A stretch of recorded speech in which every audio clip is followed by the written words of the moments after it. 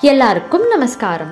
கதவிருக்ஷா வழங்கும் கார்த்திகை தீப உற்சவம் நிகழ்ச்சியோட இரண்டாம் நாளான இன்னைக்கு உங்க எல்லாரையும் நான் வெல்கம் பண்றேன். இந்த நிகழ்ச்சி இன்னைக்கு ஆழ்வார்கள் வைபவமா அமைஞ்சிருக்கு. கார்த்திகை தீபத்துடைய வைகானச தீபம் தான் இன்னைக்கு. அதாவது திருமங்கை ஆழ்வாருடைய திருநட்சத்திரமான கார்த்திகை நட்சத்திரமும் இன்னைக்கு தான். நான் ஏற்கனவே நேற்றுக்கு சொன்னேன் எங்கும் எதிலும் நீக்கமர நிறைந்திருக்கும் அந்த எம்பெருமான் ஜோதி ஸ்வரூபமா ஒளி வடிவமா இருக்கார் அப்படின்றத உணர்த்தக்கூடிய பண்டிகை தான் இந்த கார்த்திகை தீபம். இதுல இன்னைக்கு திருமங்கை ஆழ்வாருடைய திருநக்ஷத்திரம் இன்னும் ஒரு விசேஷம். ஆழ்வார்களை பத்தி நம்ம எல்லாருக்குமே தெரியும். பெருமாளண்ட பரிபூர்ணமாக சரணாகதி அடையணும் அப்படின்றத நம்ம எல்லாருக்கும் வித வித விதமாக அந்த பெருமாளை அனுபவித்து உணர வச்சவா தான் ஆழ்வார்கள். ஆழ்வார்கள்ல ஒருத்தரான திருமங்கை ஆழ்வாருடைய திருநட்சத்திர தண்ணிக்கு உங்கள் எல்லாரையும் சந்திக்கிறதுல பெருமாள் எனக்கு அனுகிரகம் பண்ணியிருக்கார். வைணவ திவ்ய தேசங்கள் ஆன நூத்தி எட்டு திவ்ய தேசத்துல முக்காவாசி திவ்ய தேசத்துக்கு போய் பெருமாளுக்கு மங்களாசாசனம் பண்ணினவர் திருமங்கை ஆழ்வார் திருமங்கை ஆழ்வாருக்குன்னு தனி சிறப்பு கண்டிப்பா உண்டு. இந்த சமயத்துல எனக்கு ஒரு பாட்டு ஞாபகம் வருது. கள்ளனுக்கு ஒரு கள்ளன் உண்டோ? கண்டதுண்டோ சொல்லும் அம்மா. கள்ளனுக்கு ஒரு கள்ளன் உண்டோ? கண்டதுண்டோ சொல்லும் அம்மா. அப்படின்னு பாடுறோம். அந்த மாடு மேய்க்கும் கண்ணனை. அந்த கள்ளன் கிட்டையே போய் கள்ளத்தனம் பண்ணி அந்த பெருமாளுடைய பரிபூர்ணமான அனுகிரகத்தை பெற்றவர் தான் திருமங்கை ஆழ்வார். அவ்வளோ விசேஷமான திருமங்கை ஆழ்வாரை பற்றி ஒரு அற்புதமான ஸ்பீச் நம்ம எல்லாருக்கும் ஒருத்தர் கொடுக்க போறா. அவர் எங்கே அவதாரம் பண்ணார்? எப்படி வாழ்ந்தார்? பெருமாள் அவருக்கு எப்படியெல்லாம் அனுகிரகம் பண்ணார்? அவர் எப்படி திவ்ய தேசத்தில் இருக்கிற பெருமாளெல்லாம் போய் சேவிச்சார்னு ரொம்ப டீட்டெயில்டாக ரொம்ப நம்ம எல்லாருக்கும் புரியற மாதிரி விளக்கம் கொடுத்துருக்கா. ஏற்கனவே நம்ம எல்லாருக்குமே பரிச்சயமான ஸ்ரீமதி ஹேமா ஸ்ரீதரன் அவர்கள். நம்ம எல்லாருக்குமே நன்னா தெரியும். ஸ்ரீமதி ஜனனி சுந்தர் அவளுடைய குரு தான் ஸ்ரீமதி ஹேமா ஸ்ரீதரன் மாமி அவர்கள். அவ தான் இப்போ திருமங்கை ஆழ்வாரை பற்றி ஒரு அற்புதமான ஸ்பீச் கொடுக்க போறா. நம்ம எல்லாரும் அதை இப்போ கேட்போம் திருமங்கை ஆழ்வாரோடைய வைபவங்களை சொல்ல இருக்கிறேன். விஷ்ணுவினுடைய சார்ந்தம் என்ற வில்லின் அம்சமாக பிறந்தவர் சோழ மண்டலத்தில் திருவாலிக்கு அருகே இருக்கக்கூடிய திருக்குறையலூர் இவருடைய ஜென்மபூமி. கலியுகம் முற்றும் தருவாயில் நல வருடம் கார்த்திகை மாதம் பௌர்ணமி திதி கார்த்திகா நட்சத்திரத்திலே அவதாரம் பண்ணினார். இவர் கிருதயுகத்திலே கர்தமன் என்ற பிராமணனாகவும் இரண்டாவது யுகத்திலே உபஸ்ரவஸ் என்ற அரசனாகவும் மூன்றாவது யுகத்தில் சங்கபாலன் என்ற பூ வைசியனாகவும் நான்காவது யுகத்திலே ஆழ்வாராக அவதாரம் பண்ணி ஜனங்களை ஹிதோபதேசம் செய்து கரையேற்றினார் என்பது இவருடைய வரலாறு. இவர் போர் திறமைகளிலே நிபுணராக இருந்ததனால் இவர் நிகரற்ற கீர்த்தி பெற்றதனால் பரகாலன் என்று பெயரிடப்பட்டு வாகை மாலையும் சூடப்பெற்றார். பிறகு இவர் அந்த குறுநில மன்னனாகவும் நியமிக்கப்பட்டு லௌகிக சுகங்களிலே ஆழ்ந்து காலம் கழித்து வந்தார். அருகிலே இருக்கக்கூடிய திருவள்ளக்குளம் என்ற ஊரில் ஒரு நாள் தெய்வ கன்னியர்கள் தாமரை ஓடையிலே ஜலக்கிரீடை செய்வது என்பது சகஜமாக நடந்து கொண்டிருந்த விஷயத்திலே அந்த காலத்திலே அந்த தெய்வ கன்னிகைகளிலே ஒருத்தியான திருமாமகள் என்ற பெண்ணை இவர் பார்க்க நேர்ந்தது அவளோ ஒரு வைத்தியனுடைய வீட்டிலே மகளாக வளர்க்கப்பட்டு வந்தாள். குமுதவல்லி என்ற அந்த பெண்ணுக்கு விவாக பருவம் வந்த அளவிலே அவள் எந்த வரனையும் நிராகரித்து தனது மனதுக்கேற்று கணவன் கிடைக்கும் அளவும் மனம் புரியேன் என்றிருந்தாள் அவளுடைய அழகையும் கல்வி திறமையையும் புத்தி கூர்மையையும் கேள்வியுற்ற ஆழ்வார் அவளை நேரில் கண்டு தான் கேட்டதற்கு ஆயிரம் மடங்கு அதிகமாக கொடுப்பதாக சொல்லி அவளுடைய தந்தையை மகிழ்வித்து அந்த பெண்ணை தனக்கு கன்னியாதானம் செய்யும்படியாகவும் வேண்டினார் அப்பொழுது குமுதவல்லி அதை தடுத்து ஸ்ரீ வைஷ்ணவர் அல்லாத எவரையும் நான் கண்ணெடுத்தும் பாரேன் அது ஒன்றே இவருக்கு குறை என்றார் அதை கேட்ட திருவாலிநாடன் ஆழ்வார் திருநறையூருக்கு சென்று அங்கே விளங்கும் எம்பெருமானுடைய அனுகிரகத்தினாலே பஞ்சசம்ஸ்காரம் செய்து கொண்டு மீண்டும் வந்து குமுதவல்லியை வேண்ட அவள் நீர் இன்னும் ஒரு கைங்கரியம் செய்ய கடவீர் ஒரு வருஷம் வரையில் ஒவ்வொரு நாளும் ஆயிரத்தெட்டு ஸ்ரீ வைஷ்ணவர்களை அது அமுது செய்வித்து அவர்களுடைய பிரசாதத்தை உட்கொண்டால் வழிய உம்மை நான் மனம் புரியேன் என்றார் பரகாலனும் அப்படியே செய்வதாக சபதமிட அதன் பின் அந்த இருவருக்கும் திருமணம் நடந்தேறியது. பிறகு பரகாலன் தன்னுடைய செல்வம் அனைத்தையும் ஸ்ரீ வைஷ்ணவ கைங்கரியத்திலே செலவிட்டு தான் அரசனுக்கு அனுப்ப வேண்டிய கப்பத்தையும் அனுப்பாதிருக்க சில விரோதிகள் அதை மன்னவனுக்கு தெரிவித்தார்கள். மன்னன் அதை கேட்டு அனுப்பின பொழுது பல தடவை கெடு கொடுத்தாலும் தூதர்களை அலக்கழித்து வந்தார் பரகாலன். பிறகு அவன் இவரை பிடித்து வரச் சொல்லி சேனைகளை அனுப்பினான். இவரோ தன்னுடைய வலிமையினால் அந்த படையையும் துரத்தி அடித்தார். அதைக் கண்டு அரசன் இவரை நயத்தினால் வசப்படுத்தலாம் என்று சொல்லி தன்னுடைய மந்திரியை இவரிடத்திலே இருத்திவிட்டு போயிட்டு போய்விட்டான்.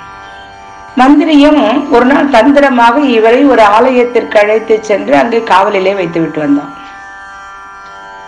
அங்கு பட்டினியாக மூன்று நாள் கிடக்கக்கூடிய க- தருவ தருணத்திலே பரக்காலனுடைய கனவிலே திருக்கச்சிநாதனான பேரருளாளன் தோன்றி நீ நமது சன்னதிக்கு வா.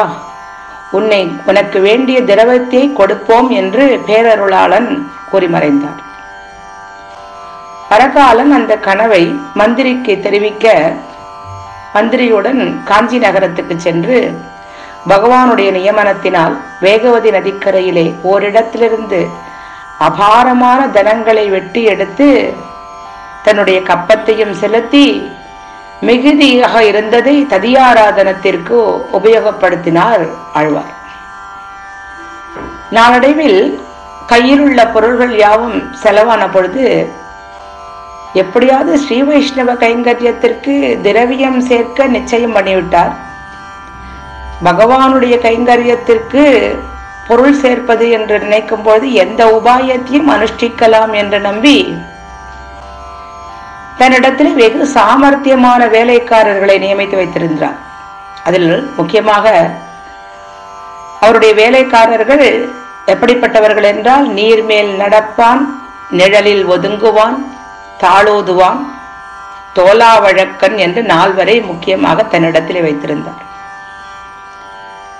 இந்த நால்வரையும் பல இடங்களிலும் நிறுத்திவிட்டு ஒரு பக்கத்திலே தான் மறைந்திருந்து அங்கே வரும் பிரயாணிகளிடத்திலே வழிமறித்து கொள்ளையடிப்பது என்பது இவருடைய வழக்கமாக இருந்தது. இப்படி இருக்கையிலே ஸ்ரீமன் நாராயணனான எம்பெருமான் ஆழ்வாரை அனுகிரகம் செய்ய விரும்பி அதற்கேற்றபடி அவருடைய கர்ம பரிபாகமும் ஒத்திருக்கும் காலத்தை கண்டு பிராட்டி சமேதனாக பிராமண வேஷம் போன்று அளவற்ற திரவியத்தோடும் ஆடை ஆபரணங்களோடும் பரிவாரங்களோடும் அந்த வழியே வந்தார். பரகாலன் அதைக் கண்டு சந்தோஷமடைந்து கூட்டத்தை மறித்து அவருடைய பொருள்கள் அனைத்தையும் அபகரித்துவிட்டு பிராட்டியினுடைய திருவடிகளிலிருந்து அருக்காழிகளையும் விட மனமில்லாமல் தண்டம் சமர்ப்பிது தண்டம் சமர்ப்பிப்பது போல் பாதங்களிலே முடி படும்படியாக விழுந்து பல்லால் அவைகளை கவி நீக்கி எடுத்தார் அதை கண்ட பெருமாள் நீர் நமது கலியனோ? என்று கேட்க பிறகு அந்த பொருள்களை மூட்டையாக கட்டி எடுக்க போக சமயத்திலே அது அசையாமல் இருந்தது. அதை கண்டு கோபம் கொண்ட பரகாலன் ஹே கண்ணனே பார்த்து ஓய் நீர் ஏதோ மந்திரவாதம் பண்ணி என்னை மயக்க பார்க்கிறீரோ? அதை எனக்கு இப்பொழுதே உபச உபதேசித்தால் ஒழிய உம்மை என் உடைவாளுக்கு இரையாக்குவேன் என்று கத்தியை உருவினார். அதற்கு பயந்தவரைப் போல பெருமாள் அபிநயித்து அருகில் வாரும் உபதேசிக்கிறேன் என்று அழைத்து சகல வேதங்களினுடைய உட்பொருளும் அஷ்டாட்சர மந்திரத்தில் அடங்கியிருக்கின்றன என்று பரிபூர்ண கிருபையுடன் அதை அவருடைய செவியிலே உபதேசித்தார். தனது திருக்கையால் அவருடைய தலையிலே பூரண அனுகிரகம் செய்தார். அதனால் அஜானம் நீங்கின தனது சொரூபத்தையும் தன்னை ஆட்கொள்ள வந்த பீதகவாடை பிரானார் பிரம குருவானதையும் ஞானக்கண்ணால் நன்கு அறிந்தார் ஆழ்வார். அப்பொழுது மாதவன் பிராட்டி சமேதனாக பெரிய திருவடியின் மேல் எழுந்தருளி நித்திய சூரிகள் புடைசூழ அவருக்கு திவ்ய சேவை சாதித்து அருளினார். இப்படி பாலனுடைய பாலனான துருவசுவாமியினுடைய கன்னத்திலே கேசவன் பாஞ்சஜன்யத்தை வைத்து கடாட்சித்தாரோ உடனே அவனுக்கு எப்படி சகல ஞானத்தையும் பூர்ணமாக உணர்ந்தவனாக நின்றானோ எம்பெருமானை துதிக்க ஆரம்பித்தானோ அதுபோல இயற்கையாகவே தென்மொழியிலே நிகரற்ற கவியான பரகாலன் தான் பெற்ற பேற்றையும் ஆனந்த அனுபவத்தையும் எண்ணிறந்த கவிகளினால் ஆசு கவியாக மதுர கவியாக சித்திர கவியாக விஸ்தாரமாக பாடி வகை வகையாக அவருடைய பிரபந்தங்களை பாடி அருளினார். நம்மாழ்வார் நான்கு வேதங்களினுடைய உட்பொருளான உட்பொருளை நான்கு பிரபந்தங்களாக அருளி செய்தார். திருமங்கை ஆழ்வாரோ அந்த வேதாங்கங்களான சிக்ஷை வியாக்கரணம் கல்பம் நிறுத்தம் ஜோதிஷம் சந்தஸ் என்ற அனைத்தின் உட்பொருளை பெரிய திருமொழி திருக்குறுந்தாண்டகம் திருநெடுந்தாண்டகம் திரு எழுக்கூற்றிருக்கை சிறிய திருமடல் பெரிய திருமடல் என்று பிரபந்தங்களின் மூலமாக உலகத்தாருக்கு உபதேசம் செய்தருளினார். இவர் நாலுகவி பெருமாள் என்றும் அருள்மாரி என்றும் பிரசித்தி பெற்றவர். அப்படி இருக்கையில் ஒரு நாள் பெரிய பெருமாள் இவரை அருளப்பாடிற்று நீர் பரிவாரத்துடன் நமது திருப்பதிகளை சென்று சேவித்து வர வேண்டும் என்றும் மங்களாசாசனம் பண்ணிவாரும் என்றும் அருள் செய்தார். அந்த ஆணையை தலைமேற்கொண்டு பரகாலம் இமயமலை சாரலிலிருந்து குமரி வரையிலே இருக்கக்கூடிய திவ்ய கஷேத்திரங்களை தரிசித்து அங்கங்கே அச்சாரூபமாக விளங்கக்கூடிய எம்பெருமானை மதுரமான பாசுரங்களினால் போற்றினார். இவரால் பாடல் பெற்ற திவ்ய ஸ்தலங்கள் எண்பத்தி ஆறு ஸ்தலங்களாகும். இவர் ஒருவரே திருக்கோஷ்டியூரை பாடினவர். நாலாயிரத்தில் இவருடைய பாசுரங்களே மிகவும் அதிகம். இவருடைய பிரபந்தங்களிலே யாத்திரை செய்து கொண்டு வருகையிலே திருநின்ற ஊரிலே எழுந்தருளி இருக்கக்கூடிய பத்தராவி பெருமாளை சேவிக்க வந்தார். அப்பொழுது ஆழ்வாருக்கு இவர் முகம் கொடுக்காமல் இருக்க அதை கண்டு பரகாலன் அவரை பாடாமல் திருக்கடல் மல்லை என்ற மகாபலிபுரத்திற்கு வந்து சேர்ந்தார். அங்கே சன்னதியிலே எம்பெருமானை சேவித்து நிற்கையிலே திருநின்ற ஓர் பிறவான் நாச்சியாரினால் வற்புறுத்த வற்புறுத்தப்பட்டு ஆழ்வாருடைய வாயால் பாடல் பெறாமல் இருக்கலாமோ என்று திருக்கடல் மல்லையிலே வந்து சேவை சாதித்தார். ஆழ்வார் அந்த பெருமாளை அங்கே கண்ணார கண்டு கழித்து அவ்வூர் பதிகத்திலே அருளி செய்கின்றார். பொண்டவத்தம் பிறர்கடைந்து தொண்டுபட்டு பொய் நூலை மெய்நூல் என்று மோதி மாண்டு அவத்தம் போகாதே வம்மின் எந்தை என் வணங்கப்படுவானே கணங்களேத்தும் நீண்டவத்தை கருமுகிலை எம்மான் தன்னை நின்ற ஊர் நித்திலத்தை தொத்தார் சோலை காண்டவத்தை கனலறிவாய் பெய்வித்தானே கண்டது நான் கடல் மல்லை தரசைனத்தே என்று பாடினார். இப்படி காழி சீராம வெண்ணகரத்திலே அவர் பரிவாரங்களோடு வந்த சமயத்திலே சைவக்குறவரான திருஞான சம்பந்தர்களுடைய திருஞான சம்பந்த மூர்த்திகளினுடைய சிஷ்யர்கள் அவரை தடுத்து ஆட்கொண்டனர். அப்பொழுது இருவருக்கும் சம்பாஷணை நேர்ந்தது. சம்பந்தர் உன்னுடைய கவித்திரத்தை நான் அறியும்படி நீ ஒரு குரல் பாடு என்றார். ஆழ்வார் காழிச்சீராம விண்ணகரம் என்ற திருப்பதியிலே விளங்கும் தாடாள பெருமானை ஒரு குரலாய் இருநிலம் மூவடி மண் வேண்டி உலகனைத்தும் ஈரடியால் ஒடுக்கி ஒன்றும் தருகையனா மாவெளியை சிறையில் வைத்த தாடாளன் தாளனை வீர் என்று காழிச்சீராம விண்ணகர பதிகத்தை ஆசுகவியாக பாடினார். அதை கேட்ட சம்பந்தர் இவரை மெச்சி வெகு அருமையுடன் வைத்துக் கொண்டிருந்த தன்னுடைய வேலாயுதத்தை ஆழ்வாருக்கு பரிசாக கொடுத்து வழி அனுப்பினார்.